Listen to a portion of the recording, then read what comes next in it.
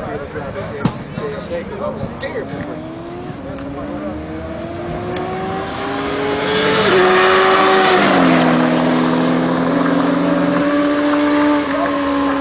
That's the shit right